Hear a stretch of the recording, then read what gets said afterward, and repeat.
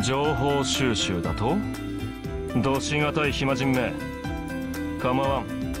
俺に付き合える範囲でなら協力しよう。俺のマスターはあの通りの自堕落で気まぐれな女だ。何の遊びかお前たちに協力してやれ。と来た。俺を売れない貸本屋とでも思っているのか実に気安い。だがこれも商売だ。読者は選ばんさ。今回はサーバントについて綴るとしよう。さあ何を語ろうか？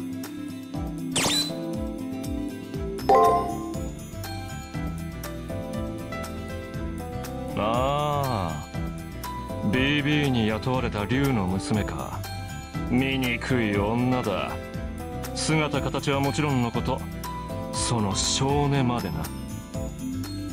生い立ちが醜い。思想が醜い。性癖が醜い。感性が醜い。見るに耐えない。一見すれば誇り高く見えるがその実では他者が見えていない。あの女の誇りは誰に向けたものでもない。全くお笑い草だ。あの女は人間を豚と同視する。つまり豚相手に胸を張っていることに他ならない。あの女は自己愛の化身だがさてそもそも愛とは何だ？奪うものか？与えるものか？その根本に気づいてすらいない女はこの世で最も手に余る怪物だ。あの女は自分の美しさが自慢らしいが はっお仏の詰まった袋の外面を飾り立てても中身の腐臭には何の変わりもあるまいよ。美しさに固執するのは女の差がだがね。気をつけるがいい。あの手の醜さは伝播する。お前の知り合いの女たちもいずれ似たような妄言を口にしかねんぞ。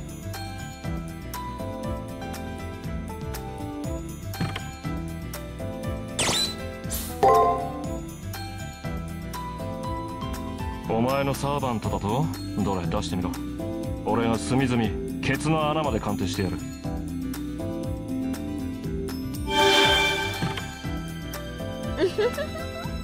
ショタ系だからってどんな暴言も許されると思っていますね。よし即屋上。桜迷宮まで吹っ飛ばす。口汚いのはお互い様だろう。大体その狐耳は何だ？あざといにも程がある。そちらの方が恥ずかしいあざとくねえです。愛らしい個性です。あなたのようなお子様にはわからないでしょうけど。俺は猫耳派だ。100歩譲っても犬耳派だ。狐耳の存在意義なんぞ。5時以下だ。おととい来い。お前ではピクリとも筆が進まん。さサンシャイン2030あっぶね。あまりの怒りで太陽を爆発させるところだったぜ。こんな屈辱安倍の野郎以来です。ご主人様行きましょう。こんなひねくれたマセガキの相手なんて百害あって一理なしです。待て狐耳。俺の認識は改まった。その耳も悪くはない。特に醜いところがいい。もう少しよく見せるがいい。ちょ何勝手に触ってるんです。ごご主人様にもまだ触ってもらえてないのに。ほううんどれなるほど。ち本物だったか。へえ新しいコスチュームプレート期待したのだがな。お前にはがっかりだあなたこそがっかりキャラです。なんか私にだけ当たりがきつい風味じゃないですか？あなた。三つ子の魂100までというやつだ。俺はもううんざりだというのにどうもメルヘンっぽいものに反応してしまう。ご主人様指示を。この吹けば飛ぶぐらい貧弱な坊やをコロコロする指示をどうかくださ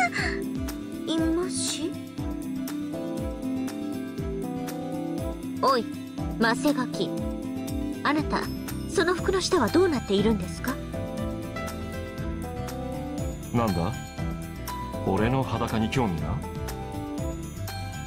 ねえよ。そうか。ピンクはなんとかという学説を耳に挟んだのだがな。しかしさすがに目ざとい。いや耳ざといな。お察しの通り俺の肌はそう見せられたものではない。人魚姫やマッチ売りの呪いだ。俺は自分の書いた物語に侵食されている。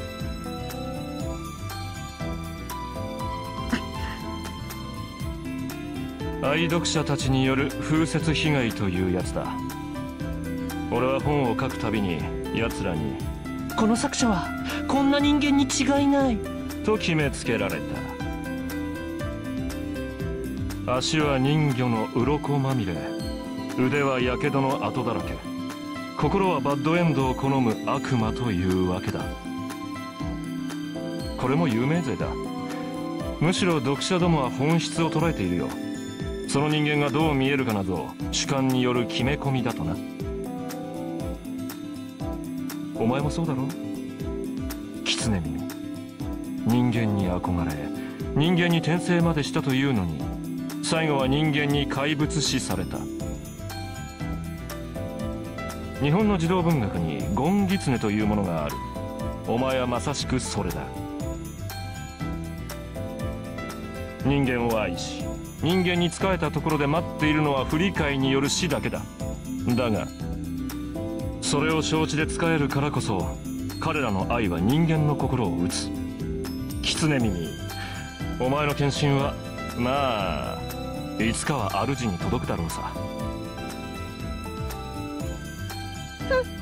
余計なお世話ですし見当違いの所感です。でもまあ子供相手に牙を立てるのも大人げないですしここでコロコロするのは見逃して差し上げます。早いな。もう出れたかあんた相手に出れる時なんざ太陽が滅んでもねえですよ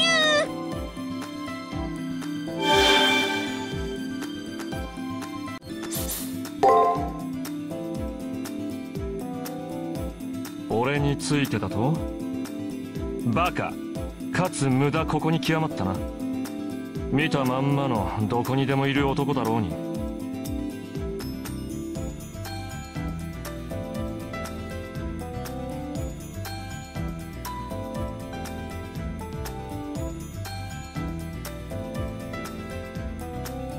が知るか。呼ばれた時すでにこの姿だった。もちろん戦闘能力はない。基本的に役立たずだ。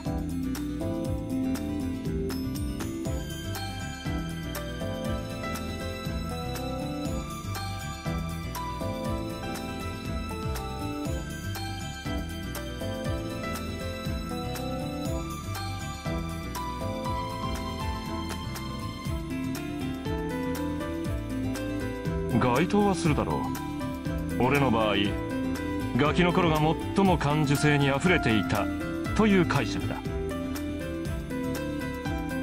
思い当たる節もある。往年の自分の資料に目を通したがあまりの瞑想っぷりに死にたくなったほどだしな。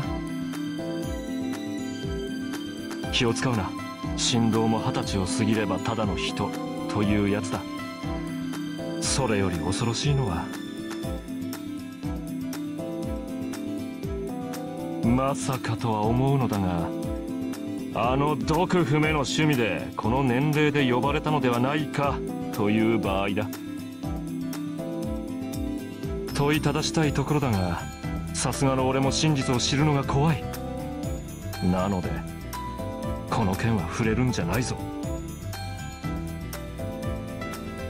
あらあらまあまあ。何やら楽しげな声が聞こえます。私会話に参加してもよろしいかしら？